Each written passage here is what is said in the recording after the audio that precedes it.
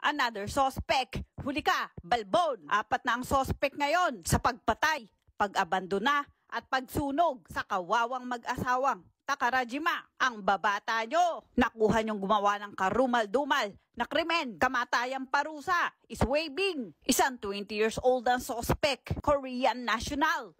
At isa pang 20 years old na suspect, kamakailan lamang, ay nahuli at kailan lang April 28, 2024, nahuli rin ang edad 28 na suspect. At meron pang isa, 25 years old, kamakailan lang din, nahuli. Ngayon, apat na ang mga suspects. Bukang ang Koreanong 20 years old ang pinaka-leader sa grupo na nag-utos patayin, sunugin ang mag-asawang Takarajima na tinali ang kamay at paa ng wire ng kuryente, binalutan ng muka ng tape. Ayon sa autopsy, ang leeg sa buto ay bali-bali. Ang buto sa ulo, ang bungo ay durug-durug. Hindi pa natuwa, kinaladkad ang mag-asawa. Dinala sa bundok at saka sinalina ng gasolina at sinunog ang mga katawan. Itong bagong sospek na 20 years old ay isa daw kilalang artista.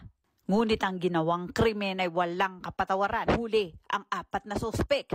Huli kayo, mga balbon. Ngayon pa lang, dapat nasunugin ang mga kaluluwa nyo sa impyerno. 20 years old na sospek. Ang pangalan, Kang Kwang Ki, Korean national. Ang isa pang 28 years old na sospek, pangalan, Hiraku Sasaki. At isa pang 25 years old na sospek, Ayaken Hirayama. Hindi binanggit ang pangalan ng isa pang 20 years old na sospek, Justisya sa mag-asawang Takarajima.